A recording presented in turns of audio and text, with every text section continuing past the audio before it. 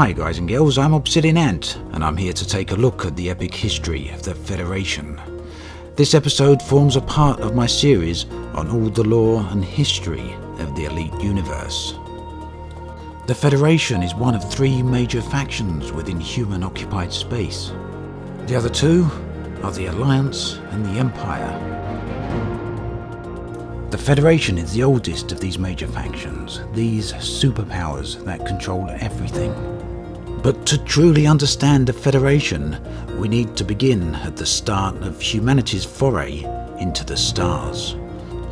The first 100 years of the 21st century marked huge progress into space. In 2020, the first commercial space station went live, and within just 10 years we were to see the first baby to be born off-world.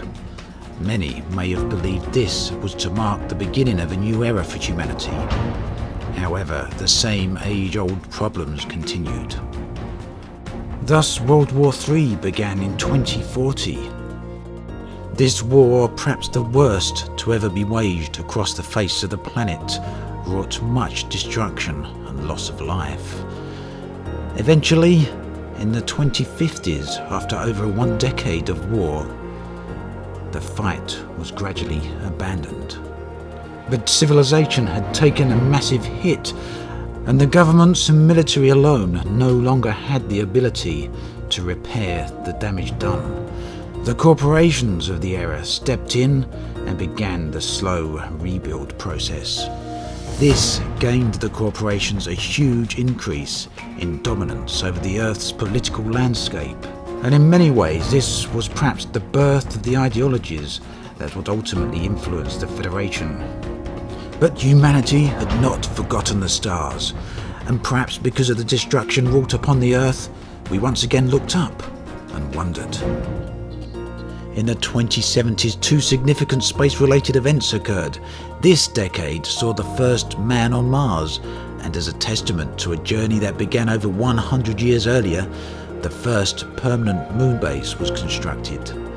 This allowed humans far easier access to space, and soon many orbital cities were constructed around Earth. From this point, the first tentative forays into interstellar space began with the launch of deep space probes. This was shortly followed by the heavy industrialization of the moon, as well as the construction of the first base on Mars. As we entered the 22nd century, it was a time of massive change, not just for where and how we lived, but of what we understood about the galaxy. At the beginning of this century, fossils were discovered on Mars, proving beyond all doubt that life once existed there. Human expansion slowly progressed throughout the solar system, and perhaps the biggest breakthrough of all time was made. The discovery of hyperspace. The ability to travel faster than light, which would allow humanity at last to escape the confines of the solar system. In 2210, approximately 30 years after the launch of the first interstellar probes, the first signal is received from a probe in Alpha Centauri, sending with it the first pictures of our planet to be seen outside of our solar system. From this point on, probes continued to arrive in neighbouring star systems and soon life is discovered on Tau Ceti 3, Thus begins a new path of exploration and discovery as hyperspace-capable probes are sent to all nearby star systems. With the knowledge that Tau Ceti can support life, a colony ship was sent there, and before long, the first human colony to exist outside of the star system was formed. Proving with all certainty that human life can exist outside of our solar system, a mass exodus of Earth began. Massive resources and effort were expended to construct ships with the intention of establishing colonies anywhere that may support human life. The expansion of humanity moved apace, rapidly crossing the voids between star systems. New colonies and ultimately cities were formed, and with them come new cultures, ideologies and governments. But all was not well on Tau Ceti 3, the first of the human colonies. The indigenous life of the planet was slowly but surely becoming extinct, being destroyed, hunted, and otherwise harmed by the human colony there. As news of this reached the solar system, Earth insisted that the extinction stop, and they backed this up with a threat of force. However, the Tau Ceti colony continued onwards, oblivious of Earth's demands. Feeling they now had no alternative, Earth sent a final ultimatum to the colonies. But this too was ignored. Earth began to mobilize a military force to deal with the situation, and this in itself was the key that resulted in the birth of the Federation. The founding members Earth, Tau Ceti, Delta Pavonis, Altair, and Beta Hydrae. Throughout the rest of the century, the Federation spread its influence across the galaxy, seeing itself as the galactic police force the Federation's dominance within the galaxy remained unchallenged, at least until the birth of the Empire. In many ways, the Federation is based upon a very authoritarian ideology, controlling much of what its citizens may and may not do.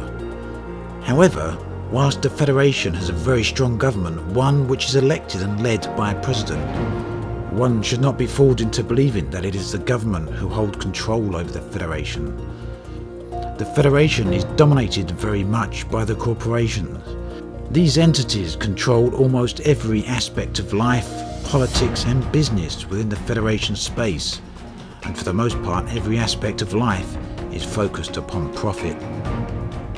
Whilst corporations are not above the law, they hold a very wide remit as far as what they are permitted to do in the name of profit concerns. Extreme corruption and even murder are the norm rather than the exception. That said, in its own way, the Federation does respect human life, much more so than the Empire, although they certainly do not respect freedom as much as the Alliance. It is claimed that peace and stability are the reasons that so many activities are illegal within Federation space, and the belief is in peace through control, as opposed to peace through freedom. It could perhaps be reasonably and successfully argued that it is this very attitude that ultimately led to the fracturing of human civilization, giving form to the Empire. For much of the centuries between 2300 and 3300, extreme tension and regular states of war existed between the Federation and the Empire. And although in the present age a state of peace exists between the two superpowers, it is an uneasy one a peace that could perhaps be easily broken. A lot of mystery exists around recent events and the rise to power of the current unelected president, Zachary Hudson.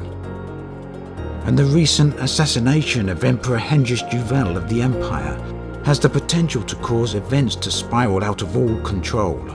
And it may well be on these two elements that the future of the Federation spins. Check out my YouTube channel for the epic history of the Alliance and the epic history of the Empire. And be sure to check back regularly for all other lore related videos on the Elite Universe. As always, thanks for watching, and I'll catch you guys and girls next time.